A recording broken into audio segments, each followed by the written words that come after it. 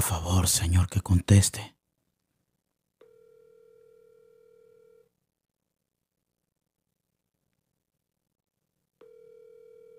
Por favor, siervo, contesta, contesta.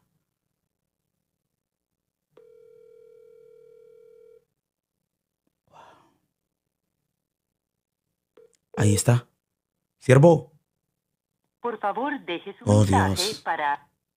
Dios te bendiga, te saludo el hermano René Ramírez. En este momento no te puedo contestar. Déjame tu nombre y un mensaje y te responderé a la brevedad posible. Siervo. Hello, siervo.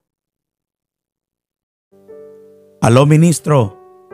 Te estaba llamando para saludarte, pero veo que no contestas y decidí dejarte este mensaje de voz. Quería saber cómo estás. He sentido de parte de Dios decirte que no estás solo y que el cansancio es de humanos.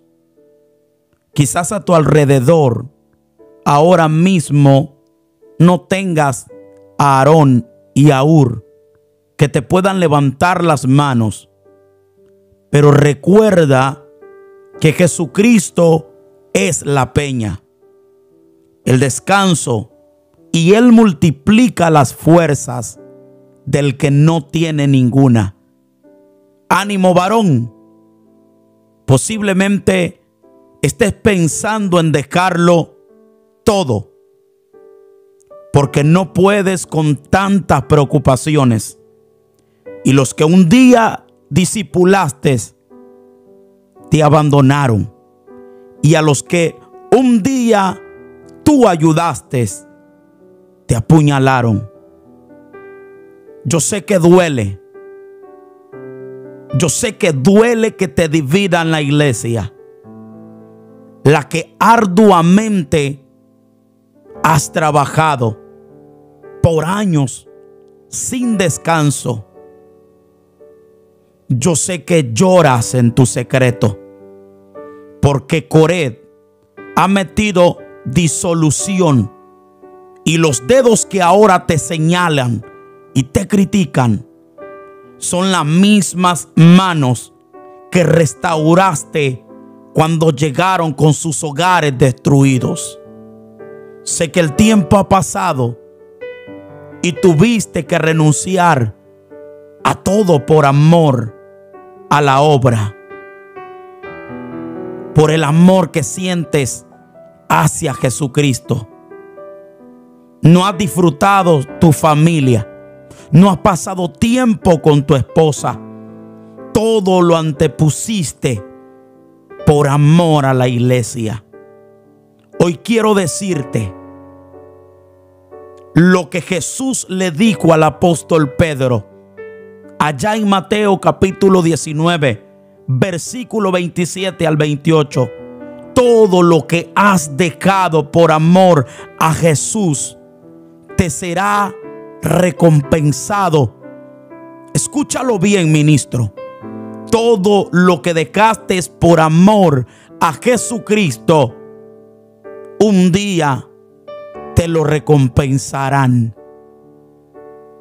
Ministro, tu esfuerzo no ha sido en vano. Y cuando aparezca en gloria el príncipe de los pastores, te recompensará en público. Tu galardón está garantizado. Yo sé que sí. Los que sembraron con lágrimas, con regocijo segarán. Irán andando y llorando el que lleva la preciosa semilla. Mas volverá a venir con regocijo, trayendo sus gavillas. Que no se te olvide que somos águilas y no gallinas, que nos podemos remontar en medio de cualquier tempestad. Por favor, escúchame bien lo que te voy a decir. Estos problemas que te han sobrevenido no son para matarte. El que te llamó de entre medio de la zarza es Yahweh. El cielo es su trono y la tierra el estrado de sus pies y las nubes el polvo cuando Él camina. Así que, en el nombre de Jesús, sal de la cueva, guerrero. Come y bebe, porque largo camino te espera. Este no es tu final. Y mientras más te oprimas, Él te multiplicará de parte de Elohim para todos los ministros a nivel mundial. Desde mi aposento hasta tu corazón.